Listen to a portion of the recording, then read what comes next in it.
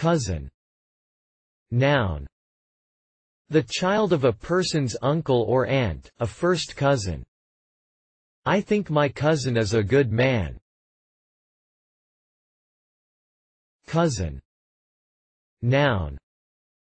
Any relation who is not a direct ancestor or descendant but part of one's extended family, one more distantly related than an uncle, aunt, granduncle, grandaunt, nephew, niece, grandnephew, grandniece, etc.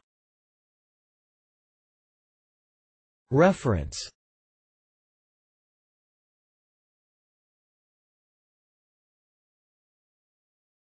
Please support us with your subscription.